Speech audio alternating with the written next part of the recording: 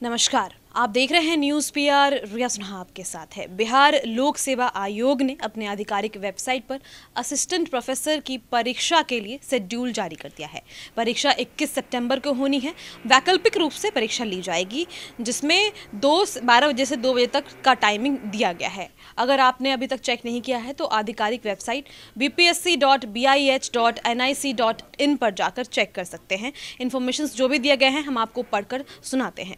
Notice में लिखा गया है, विज्ञान एवं प्रवैधिकी विभाग, बिहार के अधीन राजकीय अभियंत्रण महाविद्यालयों में सहायक प्राध्यापक के पदों पर नियुक्ति हेतु आयोग द्वारा प्रकाशित विज्ञापन संख्या चौवालीस 2020 असैनिक अभियंत्रण बामन 2020 कंप्यूटर साइंस एंड इंजीनियरिंग एवं विज्ञापन संख्या तिरपन 2020 इलेक्ट्रिकल एंड इलेक्ट्रॉनिक्स इंजीनियरिंग के लिए लिखित वस्तुनिष्ठ प्रतियोगिता परीक्षा निमांकित कार्यक्रम अनुसार आयोजित की जाएगी। परीक्षा की तिथि एवं समय 21 सितंबर 2021 12 बजे से 2 बजे शाम तक लिया जाएगा। चौवालीस 2020 असैनिक अभियंत्रण। बावन 2020 कंप्यूटर साइंस एंड इंजीनियरिंग। तिरपन 2020 इलेक्ट्रिकल एंड इलेक्ट्रॉनिक्स इंजीनियरिंग।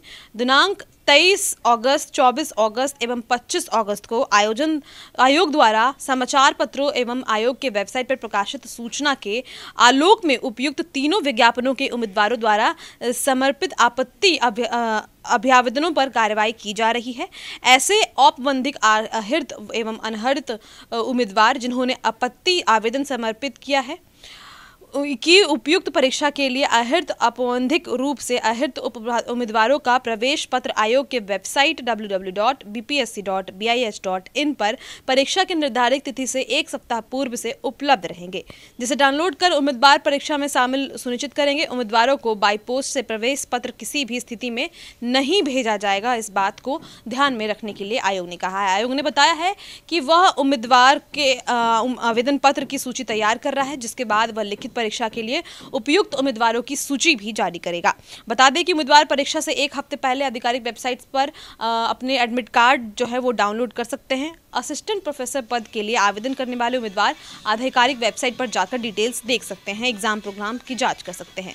इसके अलावा वो नीचे दिए गए डायरेक्टेड जो भी लिंक है, उस पर जाके शेड्यूल चेक कर सकते हैं। तो फ़िलहाल इस खबर में इतना ही। आगे और भी खबरों के लिए न्यूज़ पीआर के साथ बने रहें तमाम बीपीएससी बीएसएससी और जितने भी आयोग हैं, उसके जो भी अपडेट हैं, हम आपको लगातार बताते रहेंगे। पिछले वीडियो में हमने बीएसएससी के बारे में बताया था, जिसमें बताया था कि दस प्रधानाध्यापक की प्रतिनियुक्ति की जानी है और वो स्पेसिफिक नहीं किया गया है कि वो इंटरनेवल की काउंसलिंग के लिए की गई है या फिर किसी और चीज़ के लिए। और यह जो हमारे पास सूचना आई थी प्रभात खबर अखबार से, उसके अनुसार हमने आपको डिटेल्स बताया था। तो फिर फ़िलहाल इस वीडियो में इतना ही। जो भी अपडेट होगा, हम क्लियर कर देंगे। धन्यवाद।